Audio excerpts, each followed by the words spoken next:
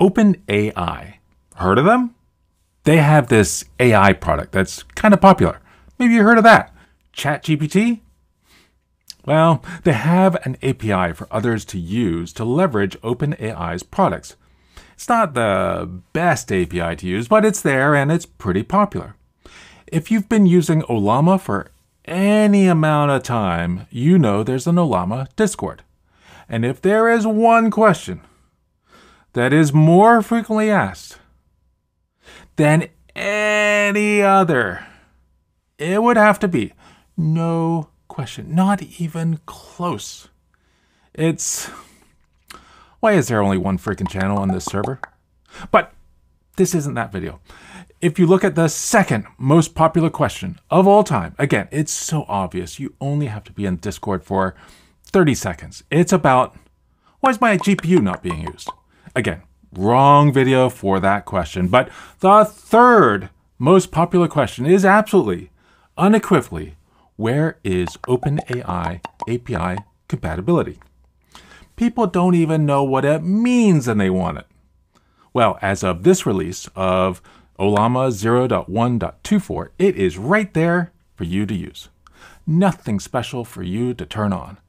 Now, there are some features that aren't available yet, but for most folks, it'll just work. So does that mean that folks who spent the time adding Ollama to their product just wasted the equivalent of a few Blueies? No, but Bluey is pretty awesome, even if us Americans don't get to watch the Pregnant Dad episode. What else is in this release? Mm, not much. It really is all about OpenAI. Not that I don't appreciate EASP's pointer to LM Ollama or Emrazer's CUDA contribution, but let's talk OpenAI. So this has API in the name of the feature, but let's start the opposite point of view. The end user who is working with ChatGPT for their regular jobby job. I'm on a Mac, so I did a search for regular client tools that use OpenAI in some form or another and do not support Ollama. At first, I was going to use Obsidian, but it seems that most of the tools either support Ollama now or don't have a way to add a custom URL. Now, why is adding a custom URL important for ChatGPT? Well, if you are a company and the very real privacy and security issues with ChatGPT scare you, then you can host the service yourself on your Azure environment. And then you probably want your users to use that service so that your company's secrets don't get discovered by a reporter, like what happened to Samsung. I found a cool tool called MindMac. This is a super slick tool, and I think I may consider buying it. But when I first tried it, I could have sworn that Ollama wasn't in the supported list. So I set up Ollama as if it were OpenAI. And then when I started scripting this script, I saw that Ollama was in the supported list. So less useful for me for, for this video. Well, then I found ChatWizard on GitHub and got it installed. This works great with ChatGPT, but it has no idea what Ollama is. If you come into settings, you can see a place to put in a URL. At first, I put in http colon slash slash localhost port 11434 slash v1 as per the Ollama release announcement. But this didn't work. Thankfully, I can use the Ollama debug environment variable to figure out what's going on. There. You see that? It says slash v1 slash v1. Okay, so go back into settings and remove the v1 from the URL.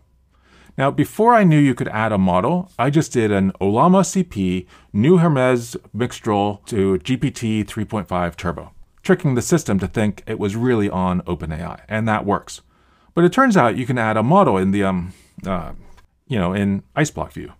Just enter a model name, and then you can define a cost if you like. There's no checking that the model exists, so be careful here. Then the model just works in the chat. Check this out. Pretty nice, huh?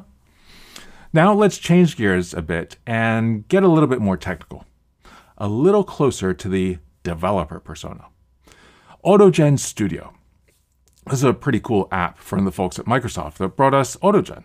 The idea of AutoGen is to make it super easy to build agents that will do things for you using the power of AI. This gets more powerful when you combine the agents to work together on your tasks. AutoGen and AutoGen Studio work with the OpenAI API. AutoGen is a purely developer product, while Studio is a web GUI that's a touch more friendly. It has been popular to use Ollama with these, according to the posts in the Discord, but to do so, you have to use LiteLLM in the middle. And I think you might even have to set up a web server. Well, you used to have to do that. Now you can just use Ollama directly. Once you get AutoGen Studio installed and up and running, which is easier said than done because it's Python, go to Build and then the Models tab, and then click the green New Model button. Enter a model name. I'll use Dolphin Mistral, and then the API key. Something has to go in here, but I don't think it really matters what. Then there's the base URL. The default to go here is http colon slash slash localhost port 11434. And that's it. Try out the model. Hmm. Well, okay, well, it failed. Okay, let's add the slash v1 to the URL. Try again, and huh, there we go. From here, you can create skills, which are specific activities you want your agent to do. This could be search the internet, or search a database, or parse a file, or, well, whatever. These skills are written in Python, so there is almost no limit to what you can do.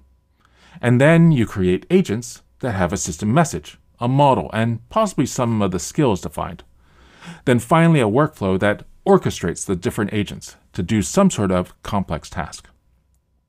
Let's just use one of the examples, the general agent workflow, and have it run through the sine wave example.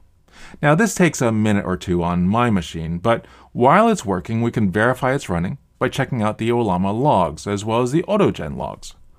This example is writing a Python script. It's simple, so any of the common models should handle it. But for more complex tasks, perhaps a larger, more specific model is required. Or if your workflow is querying a database using a skill and then interpreting that to English or another language, maybe a super lean and fast model is the approach to take. This is super cool, but there's probably a warning somewhere not to do this on your local machine. It's creating code and running it without your input.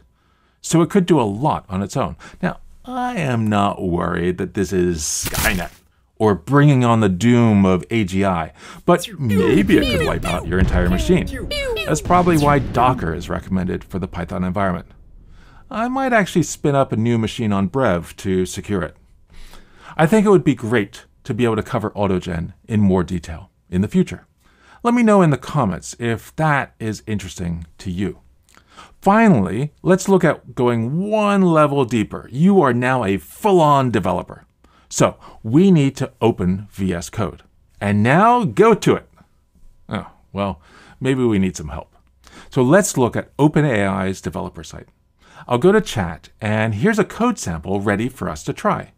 Back to VS Code and I want to use Deno for this one. So I'll do a quick Deno init, which creates the main.ts file and deno.json files. And then I'll replace the existing code with the code sample from OpenAI. Deno has a different way of dealing with packages. So to use a regular npm package, just throw npm colon at the beginning of the import. Now we need to update the constructor. First, an API key. I'll just set this to a llama. And next is the base URL. And that's going to be localhost and the port slash v1. That should be all we need, so we can run it. When you use Deno, you need to be intentional about the resources used. So Deno run allow net main.ts. And there is our message from Ollama. And we can watch the logs to ensure that it really is Ollama running this OpenAI call. To make it a little more pretty, we can just print out the message content. So we have seen the new OpenAI API compatibility in Ollama, and we saw it from three different perspectives, a user, a power user, and a dev. I think this is pretty cool. Using the Ollama API directly is going to be easier, more performant, and generally better, but especially with the official JS and Python libraries, as well as you know all the community-created libraries for, for Rust and, and Ruby and, and R and Swift and so many others. But if there's an existing tool that uses the OpenAI API today and lets you set the base URL, then this is going to be super powerful for you. Let me know if there's anything else you'd like to see on this channel.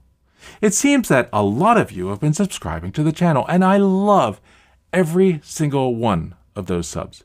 It is so exciting to watch how many of you are interested in me creating more videos. So keep it up, and thank you so much for doing that. And thanks so much for watching this one. Goodbye.